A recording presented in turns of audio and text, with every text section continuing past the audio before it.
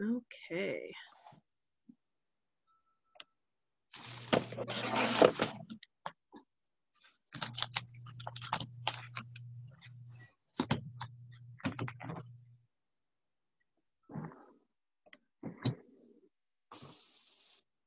Okay, so for anybody who doesn't know me, I'm Marion Forrester from CARTA, and I've been studying and making medieval pigments for three or four years now. Um, that's kind of my main area of study and something I really enjoy doing. And uh, if you have any questions while I'm going on, please just interrupt me and ask uh, because I probably won't be following the chat too well. Um, and you're more than welcome to contact me at any time. I've got my email listed there and um, my blog, which I haven't been posting on a lot lately, but there's some decent stuff up there.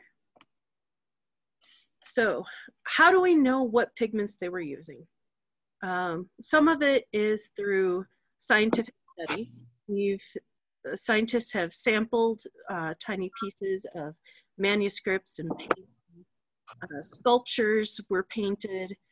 Um, the same pigments were used for both cloth and for painting. Um, we also, and you could also use non-destructive analysis like Raman uh, spectroscopy to find out what pigments were used. Um, welcome to whoever joined us. If you have any questions, feel free to ask me as we go along. Uh, we just got started. Uh, we also know what pigments were being used because they wrote down recipes and how to make the different pigments. And there's an amazing variety of these out there. And some of them you can find free on the internet and some are contained in books and some haven't been translated yet. So um, those are a little bit harder to get your hands on something that you can understand we also have um, manuscripts and paintings that actually have people making or selling pigments so we can kind of get an idea of what they were using there we have trade documents for when they were shipping and buying different pigments and correspondence in the same kind of uh, vein. And surprisingly, we also have wills and inventories where they um, may have died and left behind the contents of their shop. And um, with lead white, that's a lot of what we know is um, that kind of thing. And archaeological evidence amazingly, some of these pigments are still found in more of a raw form. There was a shipwreck that went down around Croatia, and they were able to um, bring up a bunch of different pigments that they used. They had lead white in little cones and balls of lake pigments, which we'll get into pretty soon. So as I was just saying, they had different shapes and um, ways that you could use these pigments. Some of them would be stored as a powder, some of them would be stored underwater so that they weren't getting a lot of oxygen to them, some as clothlets, which are little pieces of cloth that have the pigment and probably alum also infused into the cloth. Um, the alum is to preserve the pigment and sometimes to affect the color as well. And um, as I just said, it, they also had shaped lumps where it may have been cones or balls or that kind of thing. So we can break down the kinds of pigments into three main kinds, organic, inorganic, and manufactured. Your organic are going to be um, both plant and uh, insect, and your inorganic are mostly minerals, and manufactured have been uh, changed in form in some way. So here's just a basic overview of a lot of the pigments that they were using. I'm obviously not going to get into all of them today, but we're going to cover quite a few of them. Uh, like lead pigments were very important. Uh, orpiment was found a lot in um, Celtic manuscripts, and uh, we'll go through most of these. So organic. Uh, again, these are mostly plants. Uh, the uh, madder root, Brazil wood, indigo woad, uh, carbon black, those are all mainly from plants. The carbon black could be from either plant or animal. Um, lac and kermes and cochineal, those are both insect produced. So kermes and cochineal. Uh, most of the time you're gonna hear people talk about kermes. Uh, that they had both. Early on, they were mostly using kermes because that was mostly a European pigment. Uh, mostly cochineal comes from the New World. There are some species from the Old World. So they were using them before we uh, Europeans sailed to the New World, but um, not nearly as much as later. Uh, a lot of these have different names, and a lot of times the names can be very confusing. Both of these were called grana. Um, sometimes they were distinguished uh, a little bit by where they came from, um, like Grana de Indias, uh, the West Indies, or uh, the plant they grew on, Cochineala del Nopal, that refers to the cactus that they're grown on.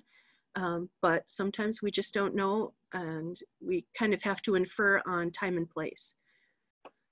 Uh, as I said, the Kermes mostly from the Mediterranean, but also from Poland and later Italy. Uh, cochineal mostly from the New World, especially from Oaxaca, Mexico. And this was imported a lot from the Spanish and uh, they actually exported it to, I believe, Italy, where they would make it into a pigment and then ship it back to Spain, where it was very popular as a painting pigment. A lot of these um, organic pigments are not very light fast. So unless they are in a manuscript that's closed, they may not uh, be preserved very well. They may fade. And uh, these were either made into a lake pigment where they were combined with some sort of calcium carbonate. Um, and that could be anything from chalk to marble dust or uh, ground eggshells, and then combined with um, alum, which preserved the color, and this would precipitate out and you would have your pigment. They could also a lot of this was also used through um, cloth shearings. Cochineal was used as a dye and they would take the shearings from the cloth production and extract the pigment from those and use those in painting. With, I have a question if you don't mind. Absolutely. Uh, with the cloth shearings, is it cloth that's impregnated with the pigment? Yes, yes. Yeah, so they would dye the cloth and then take little bits of that cloth and uh, soak it in either water with gum arabic or glaire, which is um, more of a refined egg white, and that would bring the color out, and then you could use that to paint. Okay, thank you. Madder root. This was another one that was used as a dye and as a pigment. And the difference between a pigment and a dye is a dye impregnates your material. So like a cloth, you dye, and with a paint, it's a pigment. It kind of sits on top, it has a binder, and uh, that's how it stays on the paper is something sticky like gum arabic or glaire or uh, egg tempera or something like that. Uh, it we have uh, documentation from way before the medieval period. The Egyptians were using it. Uh, Charlemagne encouraged people to grow it. Um, it was used in Rome and um, just kind of used. Not surprisingly, one of the main producers was in Flanders, which was a high um, fabric area. And so this was used as a dye and then exported as a pigment as well. It was also used as a dye for leather. So it started in textiles? Um, as far as I can tell, that's probably where it started. It was also used as a pigment way back um, with the as well. So um, just kind of they used what they had, and if you can use it for multiple uses. Makes sense. Was a huge uh, pigment that was used. I you see if you read books on pigment recipes, there will be probably five to 10 recipes on how to make Brazil wood. They're all pretty close to the same, but a little bit different. Um, a lot of times this was made into a lake pigment. You could also make it into an ink. Um, it's a little bit, it, it could be anything from yellow to orange to purple um, and red kind of all over. It's very pH sensitive. Um, and there were different trees that were used for this.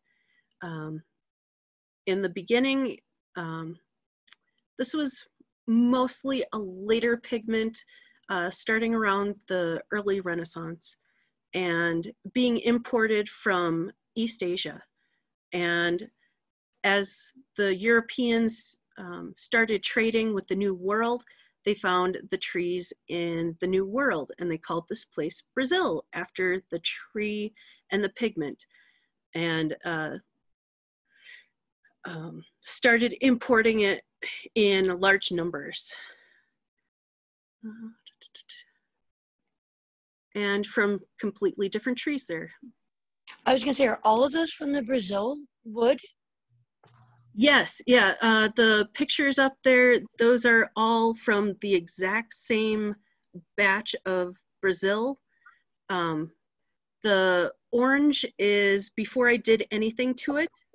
Yellow has a little bit of cream of tartar added and uh, potash and uh, I believe there's something else with the purplish ones. Um, so just completely different pHs. And there's a recipe in one of the manuscripts calling for, or that gives instructions for four different colors from Brazil wood. And that was wow. all from the same extraction, just with different things added. Wow. Uh, lac is uh, insect resin from the Kerria lacca insect. And again, that's from Asia. They were doing a lot of importing from Asia. And this one was mostly from India. Um, and here of um, shellac, it's also the same insect. It's just a little bit different process.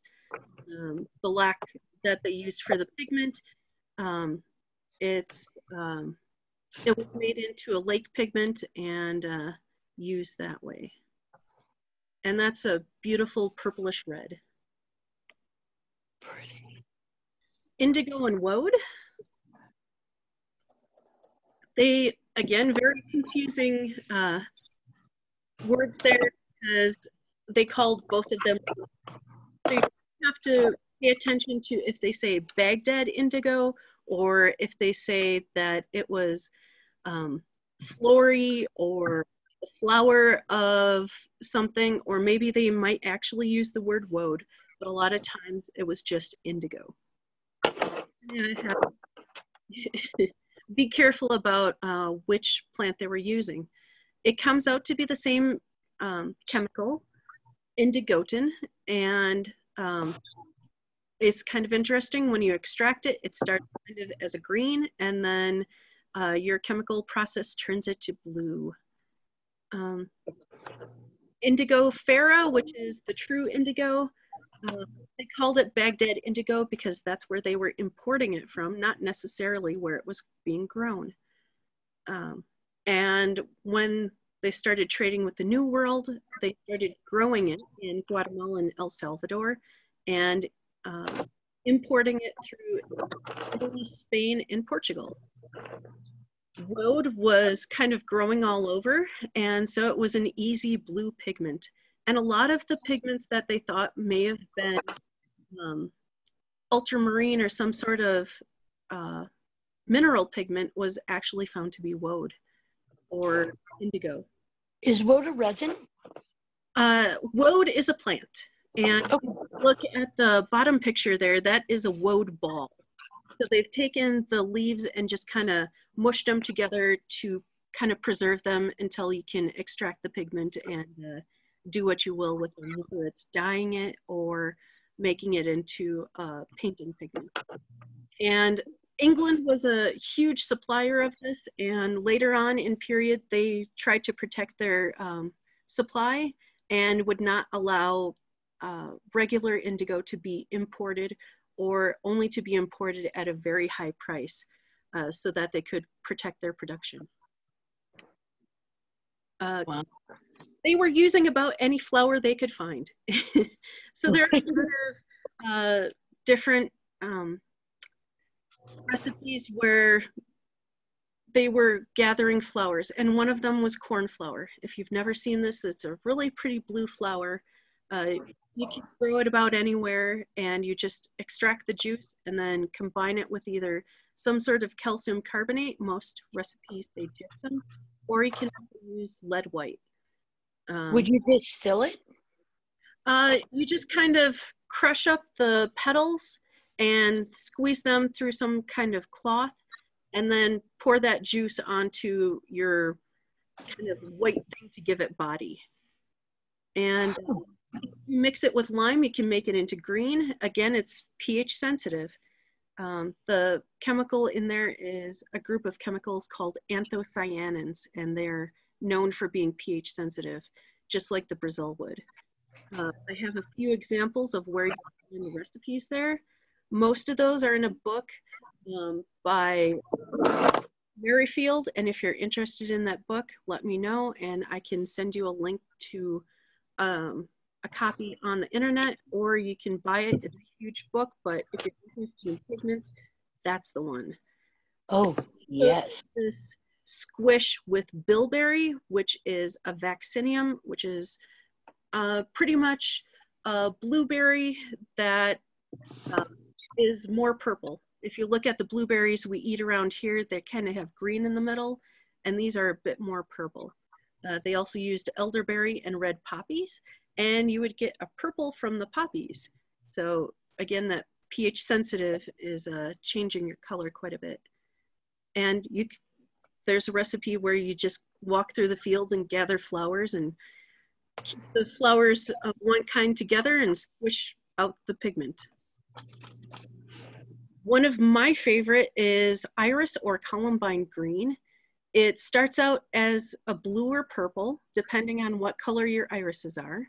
And again, you crush the petals, squeeze out the juice, and they had different ways of producing this pigment you could either squish it into a seashell, which the calcium carbonate in that will change it from, or you could make it into a clothlet, which is underneath the seashell on the bottom picture there.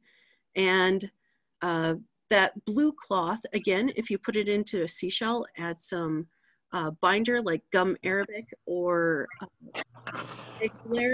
that will turn it to green with the calcium carbonate of the seashell. And um, another way you could turn it from blue to green is by using quicklime, which is calcium oxide. And this was, again, a, a later um, pigment. Most of the organics are, and it's not the most light fast, but it does make a pretty glaze, um, which is just kind of a more transparent color. You may have heard of turnsole or folium. It's kind of a weird word. Turnsole could be a lot of different plants used. Um, folium is the Chrozophora tinctoria plant, and you know that it's absolutely that plant when it says something about triangular seeds, which you don't really use the seeds, you use the seed pods. And from this, you could get red, blue, or purple.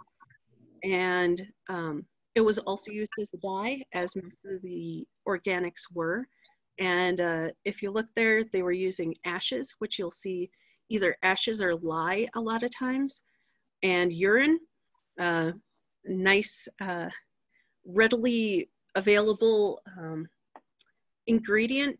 A lot of times instead of urine, you'll see vinegar or wine or something like that. And again, quicklime to change your color. Uh, one of the ones that a lot of people don't know of are Orcine or Orchil. And this is a lichen dye, and they're finding it in more and more manuscripts through the non-destructive Raman spectroscopy. And this is mostly from a lichen called Roccella tinctoria. If you see tinctoria, a lot of times it's a dye or a pigment. Um, and Italy was producing a lot of this. A lot of times, again, you could um, take it out of the cloth um, that they may have just used for making clothing. Um, and this is either red or a purple. And they were also dyeing parchment with it. There is a red uh, parchment book out there that was mostly used with the Orcine. Uh, sap green and buckthorn yellow. They're from the same berry, but at different, harvested at different times. So if the berries were not quite ripe yet, you get the orangey yellow that you see in the background there. Uh, if it was completely uh, ripe, you would get sap green, uh, also called uh, pasta verde, which I think is kind of fun. And there's lots of different um, uh, recipes for this. It was used both as a paint and ink and a dye for cloth and leather. Uh, again, if it makes color, use it for everything. Weld. Uh, if you've heard of Weld County, Colorado, uh, it's been imported here. It's kind of a mess and uh, likes to take over places, but it's growing here. Uh, they imported it and now it's running wild. Um, this is kind of a greenish yellow, um, whereas the buckthorn was more of an orangey yellow. It was also used as a fabric dye. If you see um, like the Robin Hood green, it was a combination usually of weld and woad. We know it was being used in Florence, um, Cennini in Il Libro dell'Arte, where the craftsman's mentions it. And if you want a basic on how artist materials were being made, uh, that is the book It's like $5 and very easy to uh, get a hold of on Amazon. Uh, let's see, it was also made into a lake pigment um, and saffron, not just good for cooking. You could also make it into a pigment and it was not very light fast, but it makes a beautiful orangey, lemony yellow. Um, it's made from crocuses, fall crocuses, and uh, lots of different recipes there. It was used both as a lake pigment and a stain. Carbon black is an incredibly fun one to make. All you need is some sort of um, container that you can keep most of the air out of I've seen people use tin cans and close them off with aluminum foil or something. I've had those kind of melt, so I use a pipe fittings at the end and I throw that in the fire with my material. This one was something that you could use about anything that had carbon in. So wood, ivory, uh, almond shells, peach pit. Um, and if you look in the little dish there, that is uh, mammoth ivory. Since I can't get a hold of elephant ivory, mammoth ivory is uh, legal to own and use and uh, it makes more of a, and you can see on the right there that the colors are different. It's not just black, black, black. You have brown black and you have more bluish black. Um, the one I hate making the most is the lamp black. It seems to take forever to get the soot to accumulate and uh, it resists adding water to it when you make it into a paint. Uh, they were using some uh, carbon black as ink, but mostly in uh, the Middle East as opposed to Europe. Okay, we're gonna switch to inorganics now. And these are mostly um, rocks, but we have more of dirt at the bottom there in the earth pigments. Malachite, beautiful green color.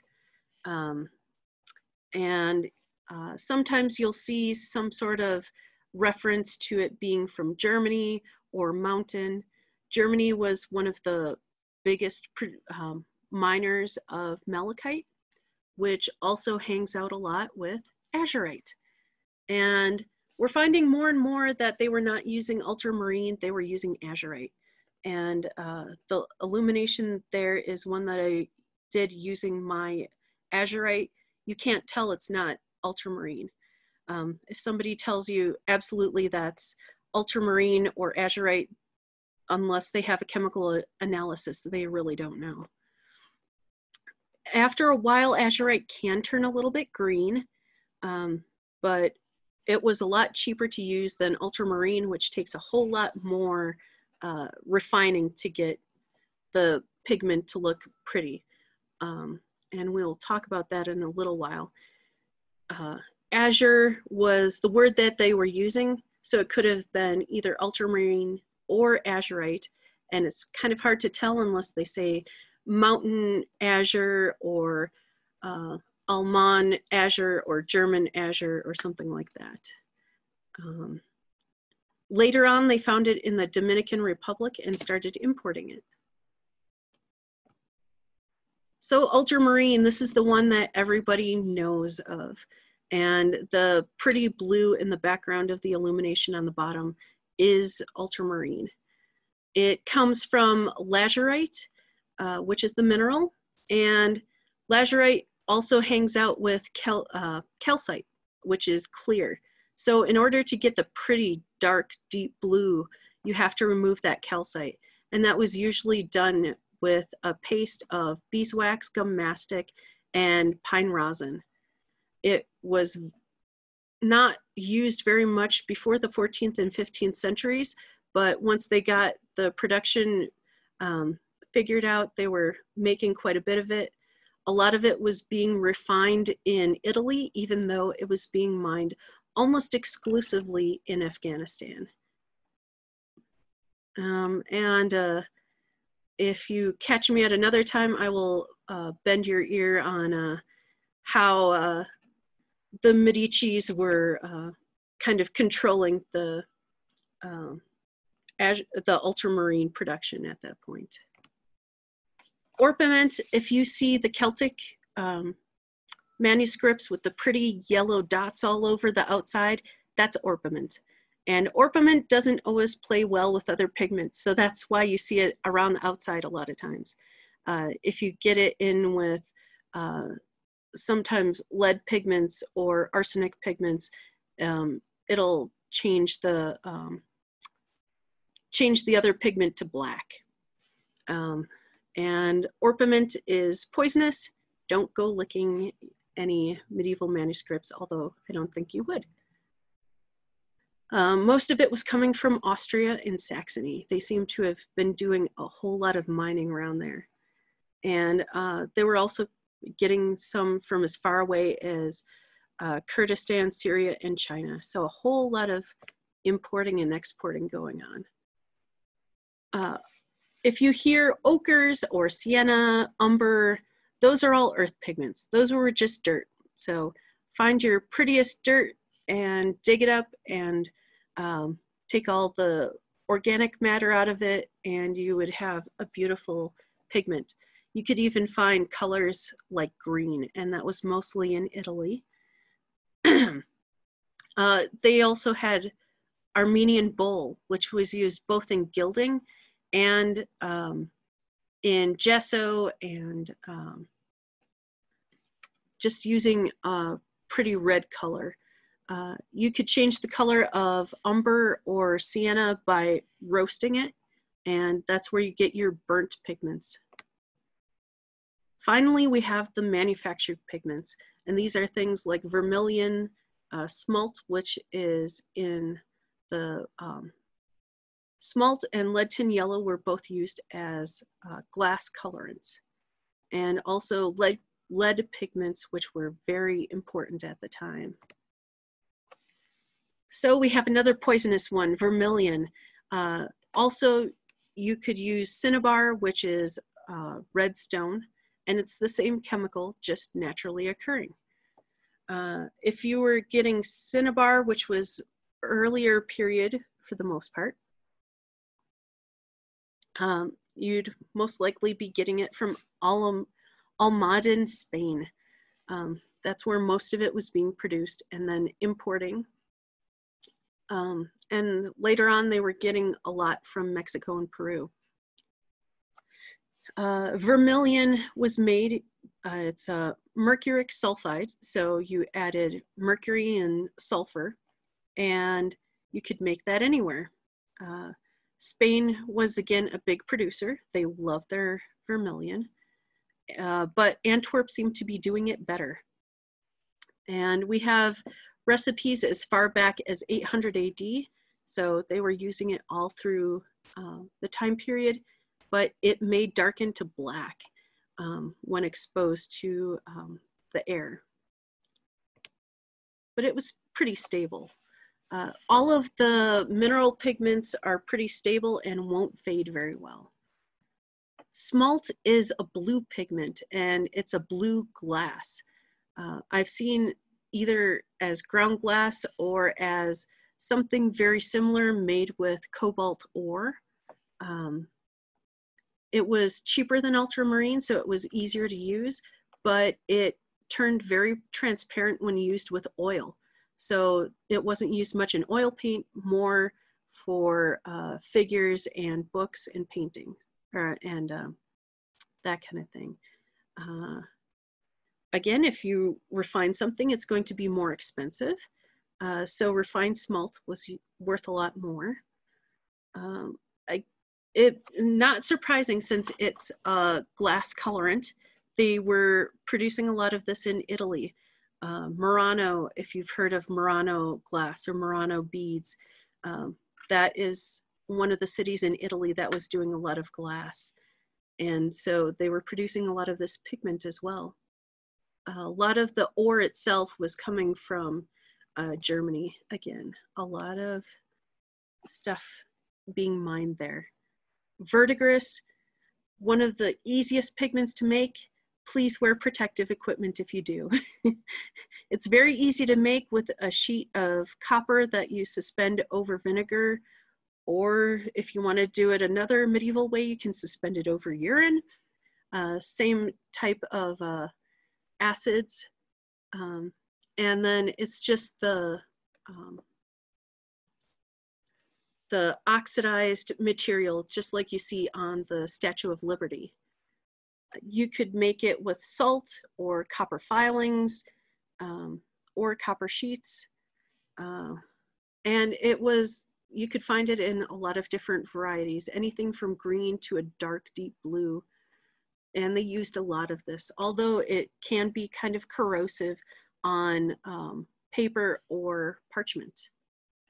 And we get the name verdigris from Vert de verdigris, which was where some of the recipes were from and that got changed into verdigris. Uh, France was a major production center and they would uh, ship it all over and it was traded a lot by Italy and later Flanders. Lead pigments. Uh, these were incredibly important, both lead white and yellow, orange, even into the reds. Um, lead white was used not only as pigment, but also in gesso. It was used in oil paints and it helped dry the um, paint. It was used with gum arabic, egg yolk, about anything you could put that was sticky. Uh, it, they were also using it to make lake pigments. With the lake pigments, you can make them with calcium carbonate, but sometimes they would also uh, add lead white instead of the calcium carbonate. Uh, main producers were Italy and Flanders, and the Venice lead white was prized more than any other uh, lead white. And they had found a way of producing this that took out the impurities and made it much um, more white and uh, less transparent. And a lot of times this uh, was called ceruse instead of just lead white. And this was used all through the period uh, from the beginning to the end and way before. Uh, still used some today. And lots of different names for it. This is one of the pigments that they found in the shipwreck. They found it in what they called, what are kind of truncated cones. And uh, you can still find pictures of those online. It's pretty cool.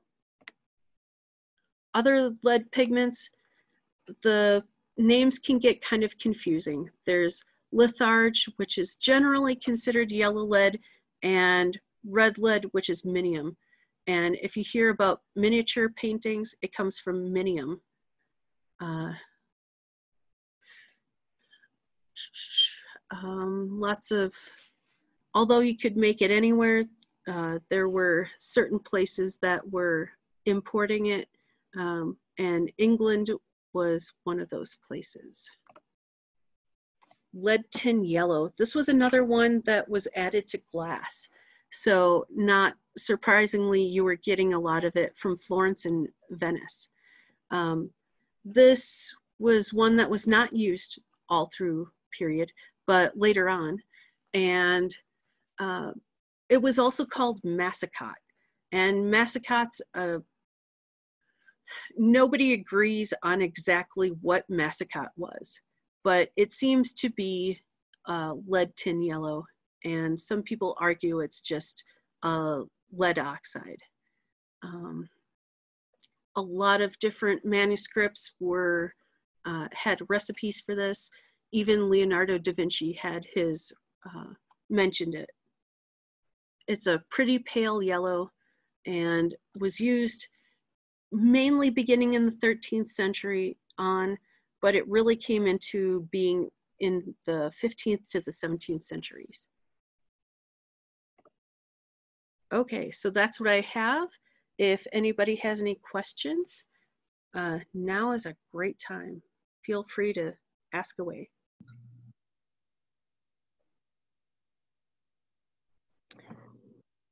Do you have a compilation of the different recipes that you have tried? Uh, I do, and I can send that to you if you're interested. Um, Very. Okay, yes. Uh, yeah, it's a rather large document, but uh, yeah, I've I've got a lot of them that I've tried. Just because I dye my own wool and I'm working on a project right now. Um, for the SCA where I'm trying to use as many historical practices as I possibly can with what I can uh, get in modern day, Right. um, taking it from freshly shorn to a finished product. there are also some um, dyeing handbooks that are available online. Uh, if you're on the Outlands Fiber group, uh, that was posted, I think, today or yesterday.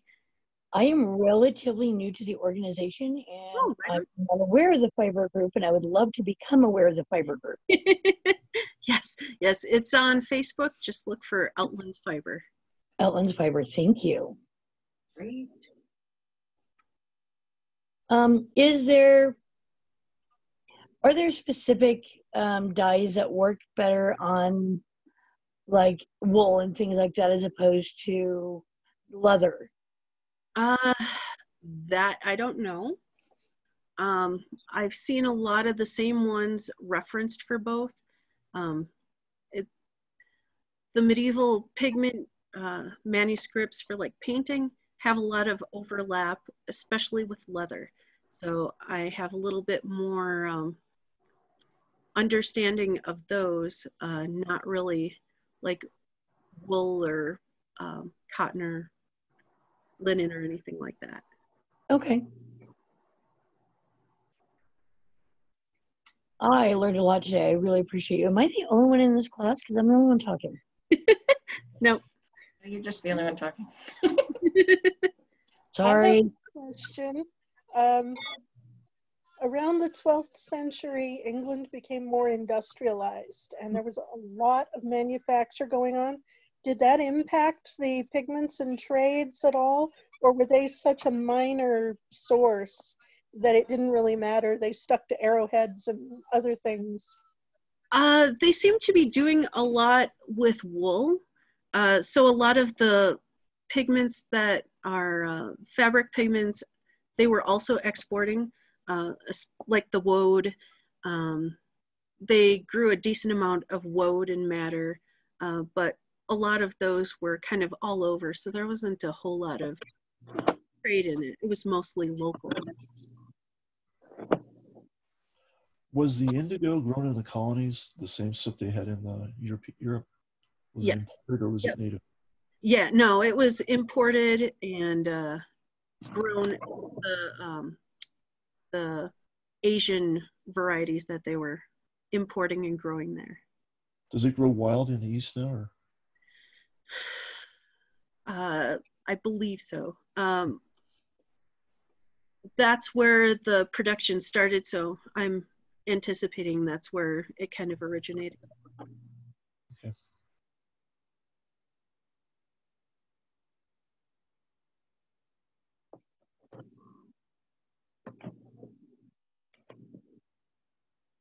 I'll hang out for a couple more minutes, or you're free to go on to your next. Um, your next. This is really, really cool. I love learning about the pigments. Just glad I finally got to come to the class.